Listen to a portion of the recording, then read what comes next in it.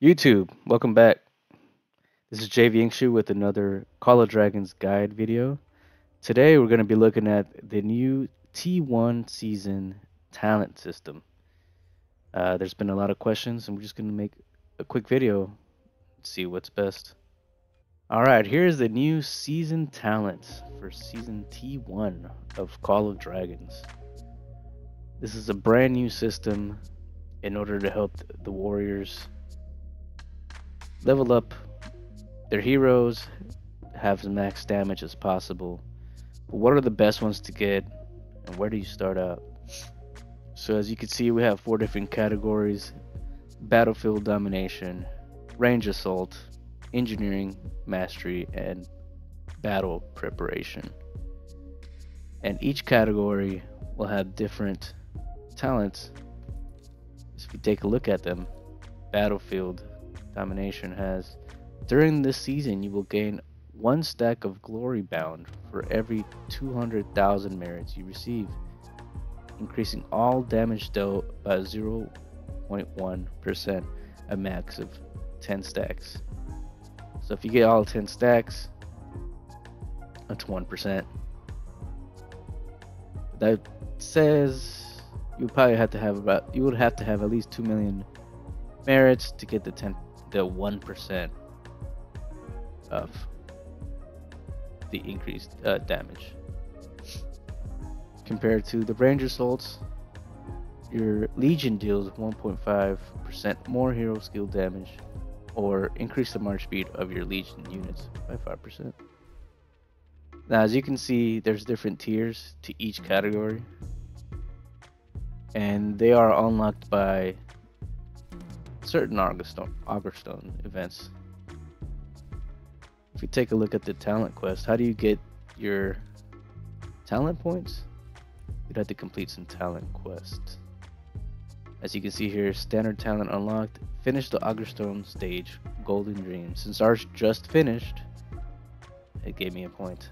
So, actually, well, gave me three points. So for each quest that you complete, it'll give you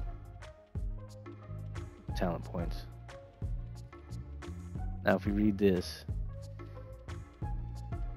there are four unique branches of the season talents, right?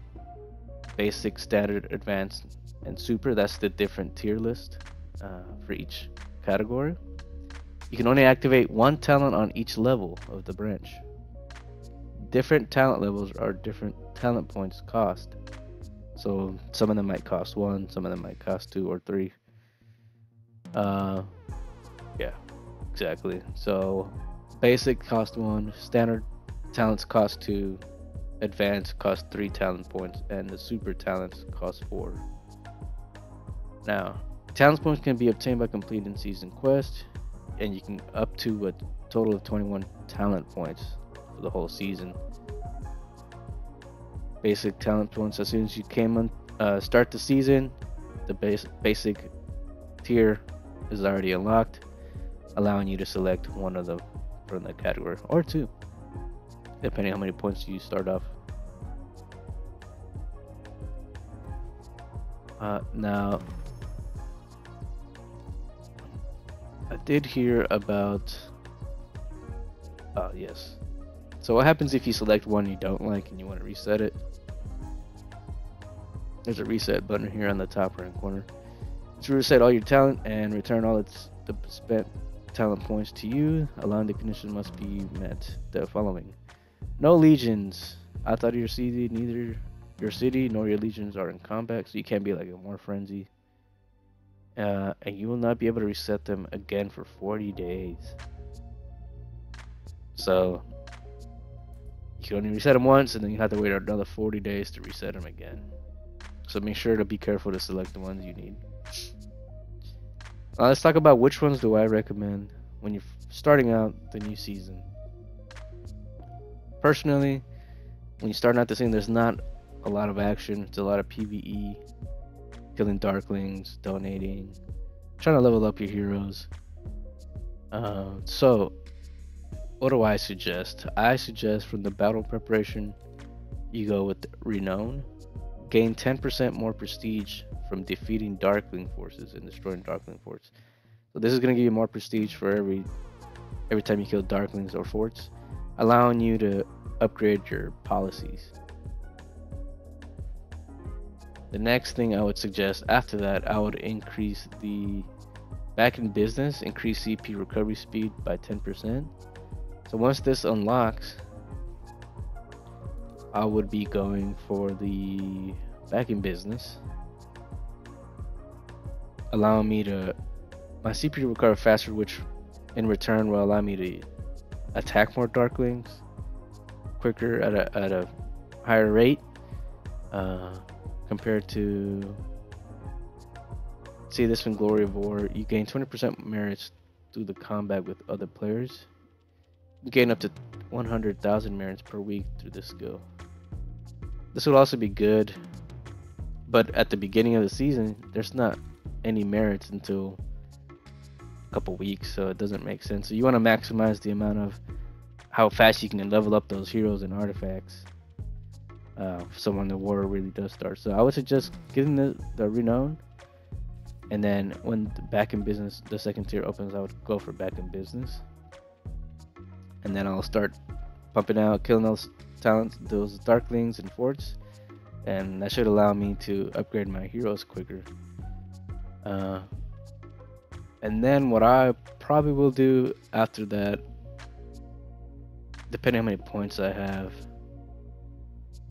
I'm probably gonna go for range assault because I'm mostly mages, archers from just you know attacking from a distance. So I'll probably go from the range assault tree. Uh, let's see, probably go for the forceful leadership. Hearts as one when you're when you have at least one range legion in battlefield. Each additional range legion that enters the battlefield increases range. So, wow, okay. Burning Rage. Legion gains 3% more normal attack. I might go for Burning Rage.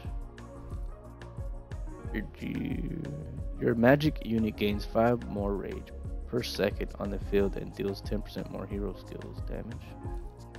Or long range for your marksman unit have an attack range equal to your magic units on the field, but they have 50% less physical attack. Wow. I'm mostly a mage player, so I might I might go for arcane turret. And then suppressive fire. Every time your rage legion deals normal attack to a target, the target match the target's march speed and range completion is reduced. Yeah, so my plan will be renowned, back to business. And I might hit a reset once I have most of my policies and all my heroes leveled up, and then start going for the range assault. Uh, I think that's my plan. So I should wrap it up. If you have any questions, leave a comment, hit the like button, and make sure to subscribe. I hit you guys later.